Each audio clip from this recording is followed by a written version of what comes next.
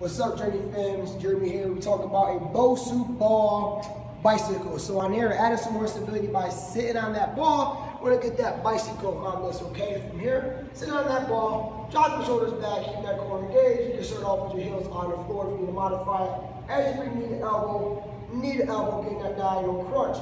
You want to progress this one, obviously bring those heels up off the floor, add that stability, shaking all over that place on that Bosu ball, coming across the body, cross the body, press that heel out as you go with those Bosu bicycles.